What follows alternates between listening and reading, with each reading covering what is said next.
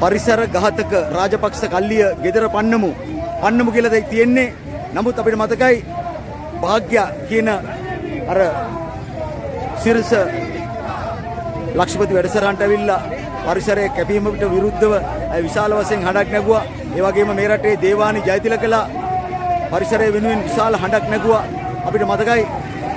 ඒ වගේම මේ අපේ සුභේක්ෂර ශික්ෂාගාමී මහා සංඝරත්නය ඔබ කවුරුත් අඳුරනවා. ඒ වහ ඒ එතුමි ඒ වහන්සේත් ඔබටලට පරිසරයේ අගේ කියලා දෙනවා. අද බලන්න පරිසරයේ දිනේ වෙනුවෙන් විශාල ජනතාවක් අද ඒකට සහභාගී වෙන මේ ගෝටා ගමට ගෝටා ගෝගමට ඔයාලට මතකයි සිංහ රාජයේ කපන්න බොහොම උනන්දුවක් දක්වුව මෝඩමන පාලකෝ විශේෂයෙන්ම ගෝඨාභය රාජපක්ෂ. ඔහුගේ හෝටලයක් තියෙනවා කිව්වා. ඒ නිසා තමයි පාර දැම්මේ කියලා තමයි එදා සදාන් කරේ. ඒ තරම් මේ පරිසර විනාශයට ඔවුන්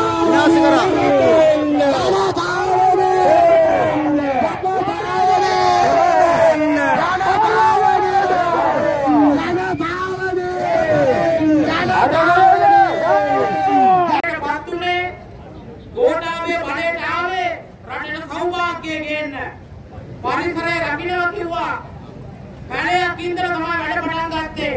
හැබැයි ආවිල්ල කරපු පළවෙනි එක පළවෙනිම රාජකාරිය උනේ පළවෙනිම කැබිනට් පත්‍රිකා උනේ ගස් ගල් වැනි පස් ප්‍රවාහනය සඳහා දීලා තිබිච්ච බලපත්‍රය අහෝසි කරලා ජාවාරම්කාරයන්ට ජාවාරම් කර ගැනීම සඳහා අවශ්‍ය පරිසරය සකස් කිරීම ඒ විතරක් නෙවෙයි එතනින් පටන් අරගෙන මේ රටේ සිදුවෙච්ච මහා පරිමාණ සියලුම පරිසර විනාශයන්ට වැඩියෙන්ම වග කියන්න ඕන දැනට මේ බඩේ ඉන්න රාජපක්ෂවරු යුද්ධේ දිනුවට පස්සේ උතුරු නැගෙනහිර හදපු ගම්මාන හදන්න අද ඒ මිනිස්සුන්ට අඩුම පහසුකම් යටතේ මහා වනාන්තර කපලා ගම්මාන නිර්මාණය කරා තමන්ගේ පුතුන්ගේ නමින් නාමාංගම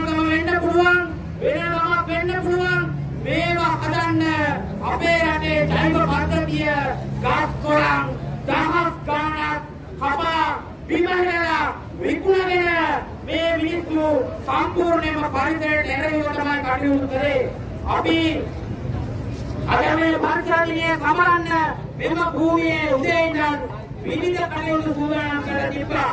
උදේ ගෝඨාභෝගම පරිසර සංවිධාන සියලු දෙනා එකතු වෙලා බැලමෙලා දීමක් කරා අපි ඒ වගේම අවස්ථ තවත් වැඩ කටයුතු වාසියක් තියෙනවා ඉන් එක අවස්ථාවක් තමයි අද මේ කොටුවේ ඉඳලා මෙතනට අපි ආවේ මේ ආණ්ඩුව දැන් හිටිය ඇති ගෝඨාභය ඔබ හිටිය ඇති අපිට කරා හොඳටම ඇති දැන් පරයක් කියන පරිවිඩය දෙන්න තමයි අද අපි මෙතනට ආවේ ඒක නිසා මේ රටේ පරිසරයට වැඩි පුරම විනාශයක් සිද්ධ කරපු පාලකයෝ දැන් හිටිය ඇති. දැන් යා යුතුමයි. ඉතින් අද මෙතනට පරිසරවේදීන් විශාල පිරිසක් සම්බන්ධ වෙලා තියෙනවා. ඔවුන් පැහැදිලි කළාවේ පසුගිය දශකයේ තුල මේ රටේ සිදුවෙච්ච පරිසර හානි සම්බන්ධයෙන්.